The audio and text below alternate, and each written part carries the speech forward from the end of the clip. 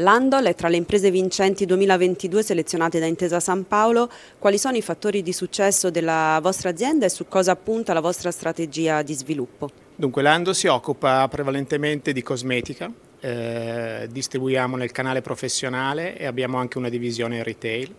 Diciamo che il fattore di successo dell'azienda negli ultimi dieci anni è stato sicuramente la ricerca di persone, la ricerca di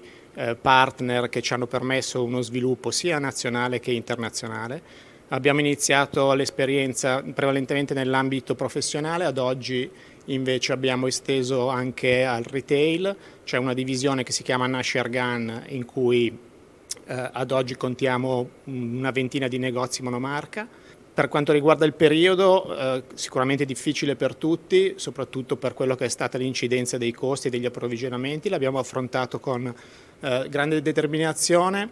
ci è costato, come a tutti è costato ovviamente, e, però devo dire che siamo riusciti comunque ad avere un anno di grande crescita e, e questo indubitabilmente lo dobbiamo attribuire sia alle persone che alla strategia dell'azienda. La crescita è stata sia in Italia, che è il nostro mercato di riferimento, e ad oggi stiamo sviluppando una presenza sull'estero dove contiamo già circa 50 paesi